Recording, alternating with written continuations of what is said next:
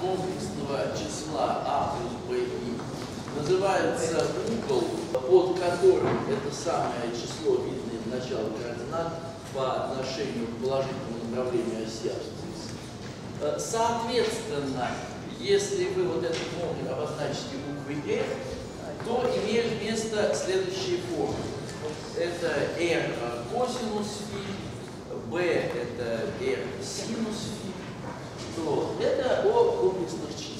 Сопряженным к комплексному числу а плюс b называют комплексное число а минус b, обозначают это чертой сверху. Нетрудно проверить, что для любых двух комплексных чисел сопряженное к произведению это есть произведение сопряженных.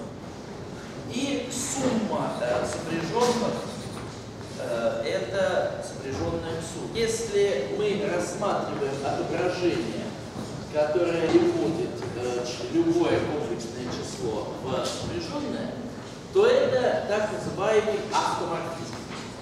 То есть э, сумма переходит в сумму, произведение в произведение, ну, соответственно, частное в частное, разное в разное, естественно.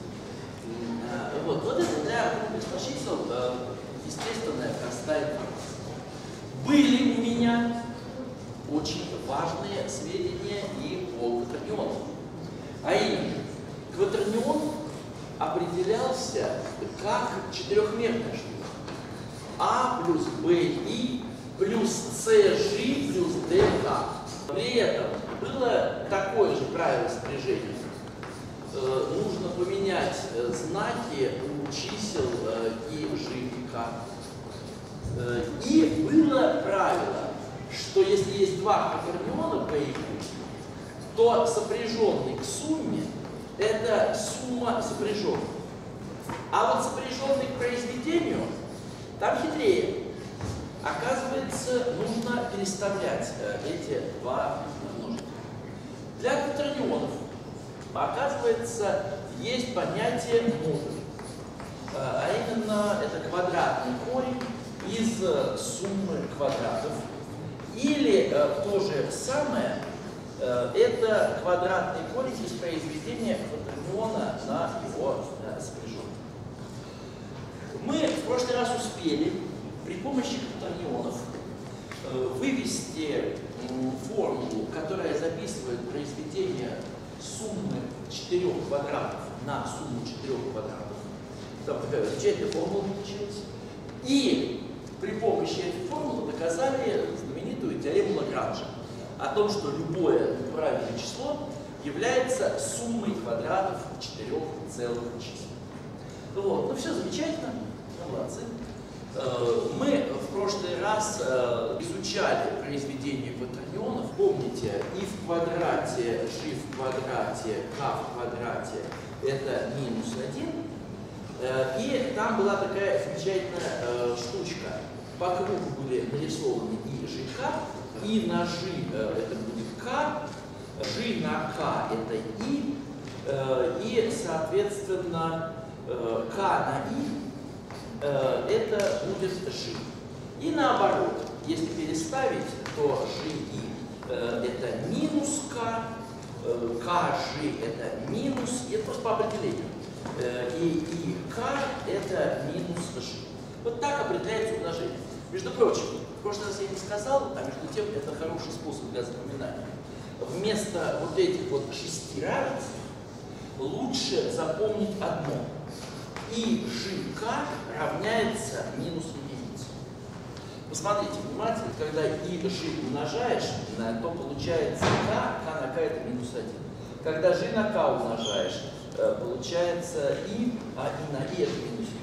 На самом деле вот это вот одно равенство, оно очень такое, что сказать, правильное, э, замечательное. Но не в том дело, а, как вспоминать эти формулы. В прошлый раз мы успели обсудить скалярное произведение векторов и векторное произведение векторов. Э, А именно, вот э, это называется числовая часть а это называется э, векторная часть.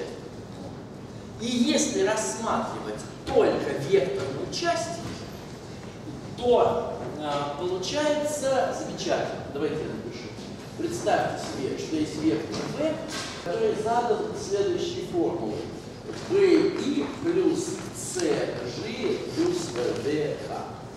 И есть какой-то другой вектор, вектор u, который задан формулой xi плюс yg плюс zk, где и gk это обычные э, векторы, давайте я поставлю стрелочку знак того, что это уже они имеются в виду как настоящие э, базисные векторы в трехмерном пространстве.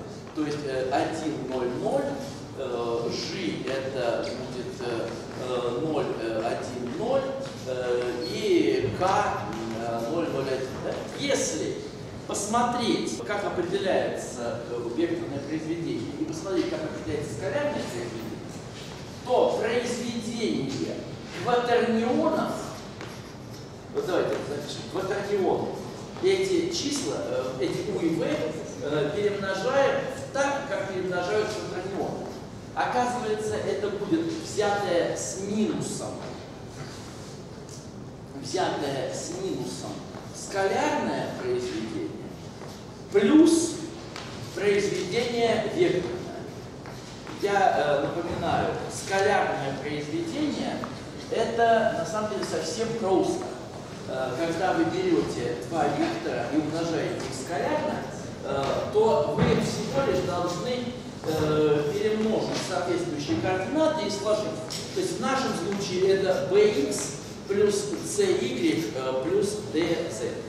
А когда вы перемножаете векторно, операция более хитрая. Вы должны взять вектор, который перпендикулярен и вектору v, и вектору u, э, вот есть вот какой-то вектор v, есть какой-то вектор u, надо взять перпендикуляр, причем так, чтобы длина вот этого отрезка равнялась бы площади параллелограмма, построенного по векторам v и направление должно быть такое, что когда смотришь э, так, что вот он идет тебе в глаз, то тогда направление вращения от v к u против часовой стрелки.